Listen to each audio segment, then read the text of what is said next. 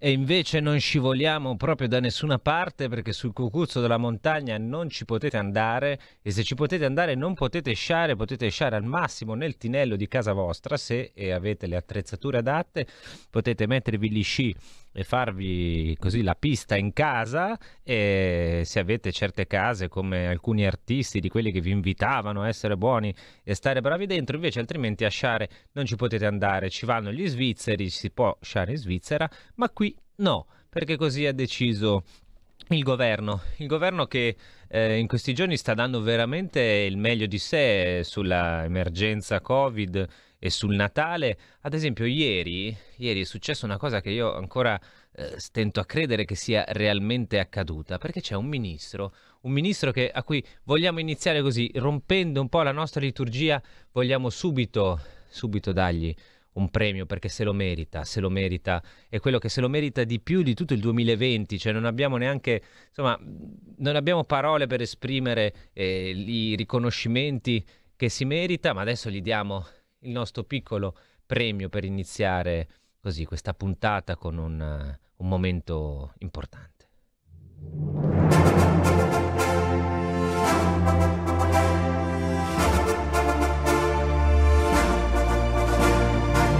Premio virologo di legno The winner is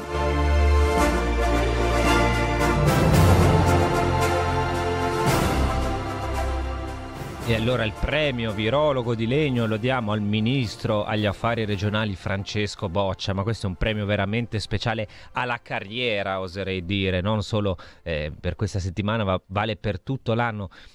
Perché parlando della messa di Natale, la messa di mezzanotte, il ministro Francesco Boccia è riuscito a dire la seguente frase.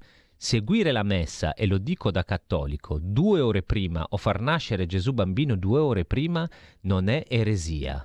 Ecco, io mi domando come un ministro della Repubblica possa arrivare a dire una cosa del genere. Probabilmente Boccia crede di essere il Papa, no? Si chiama Francesco anche lui e si è così, si è un attimo eh, montato la testa. Cioè, far nascere Gesù bambino due ore prima perché lo decide il ministro degli affari regionali. Cioè, a questo punto siamo arrivati. Questa è, è una cosa che magari ci può anche far ridere, no?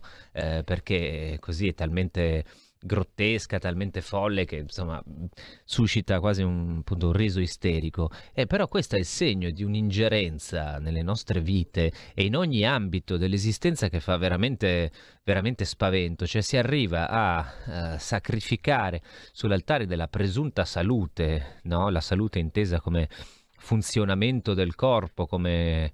Eh, come se fossimo delle macchine, no? noi dobbiamo funzionare e preservarci da ogni impedimento e continuare a produrre. Ecco, persino Gesù bambino può essere fatto nascere due ore prima. Io non so, non ho parole. Se le avete voi e volete eh, chiamarci, intervenire in diretta, noi vi, vi aspettiamo vi invitiamo a, a partecipare. Io intanto do il benvenuto a Renato Cristin. Buongiorno, professore.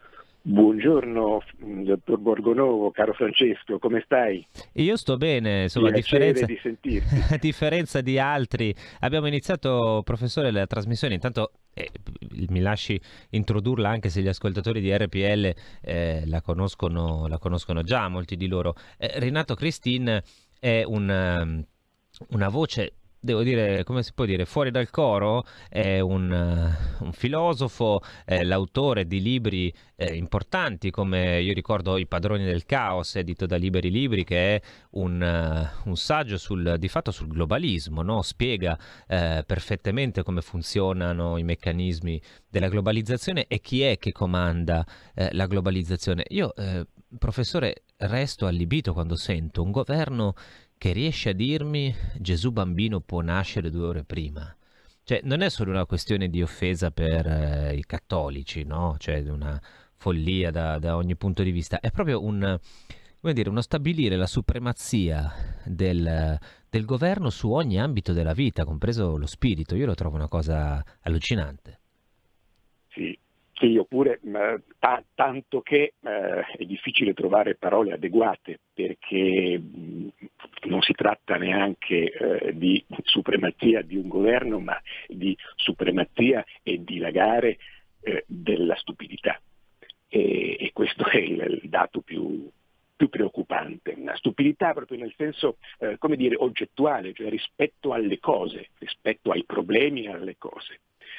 Ma, mm, ma credo che sia un, un, dato di fondo che eh, appare in questo modo, si manifesta così oggi, eh, in questa circostanza, ma che potrebbe manifestarsi eh, in, in, altre forme eh, con la stessa essenza, e cioè la idiozia, ma ripeto, idiozia in senso tecnico, è proprio l'idiotes, eh, colui il quale non, eh, non, non riesce eh, davvero a eh, guardare e a comprendere eh, le cose. Beh, diciamo insomma, che sia pieno di tecnicamente idioti ce ne stiamo un po' accorgendo, insomma lo diciamo così con massimo rispetto, eh, tecnicamente sia chiaro, però... Sì, cioè, in questo senso esattamente, no, no, tecnicamente proprio... pur sempre idioti. Sì. Sì, ma guarda, io non sono, non sono un, un, epidemiologo, eh, non sono un virologo e quindi Grazie non posso eh, e, non, e, non, voglio eh, parlare di questi aspetti diciamo, del problema, cioè della circostanza in cui eh, diciamo, stiamo, stiamo, vivendo oggi che è dominata dal, dall'epidemia. Ma non sono nemmeno un giurista, per cui voglio dire anche dalle implicazioni normative voglio astenermi eh, entro certi limiti eh, e posso guardare la cosa, la circostanza, cioè soltanto dal mio punto di vista che è quello filosofico e per la precisione eh, fenomenologico, cioè cerco di capire e di vedere eh, in che cosa consistano uh, le strutture essenziali, proprio l'essenza o le essenze della situazione attuale. E io vedo davvero, eh, tu hai citato eh, mi permetto di continuare a darti del tu nonostante certo, certo, la, la, la, formalità del, del, del contesto, Francesco. Um, tu avevi citato un pochi istanti fa il, il mio libro eh, Il padrone del caos, ma guarda, la situazione attuale secondo me è un caso tipico eh, eh di, quella, eh, di, quella, teoria che appunto avevo elaborato ehm, allora, un, quando tu hai un quadro politico, eh, anzi geopolitico e geoculturale occidentale, che è sotto pressione da spinte ideologiche che sono peraltro poi sempre le stesse eh, da almeno 50 anni, quelle onde lunghe, sessantottine che poi eh, sempre come le onde appunto si, si, si riproducono pur trasformandosi e così via. E quando hai pressioni di questo genere, tipo ideologico, pressioni di carattere eh, mega speculativo macro speculativo, io credo che quel, quel quadro si frantuma quando sopraggiunge un evento catastrofico come per esempio nel caso del, del, libro che hai citato, l'ipotesi della immigrazione di massa in Europa, oppure, eh, guardando al presente, un evento epidemico globale come appunto il coronavirus. Questa è la mia impressione, diciamo, così iniziale. Così. Ecco, professore, lei ha detto una cosa, insomma, Interessante, io non sono un virologo, non sono un epidemiologo e quindi non, mi, non parlo di questi argomenti, eh, però eh, i virologi, gli epidemiologi e, e, tutti i medici che abbiamo visto parlano di qualunque argomento, si permettono di sindacare su qualunque aspetto della vita e, e così fa il ministro degli affari regionali che si permette di sindacare persino sul momento in cui può nascere Gesù. Questo mi sembra una parte del problema, anche una forma eh, di grande arroganza.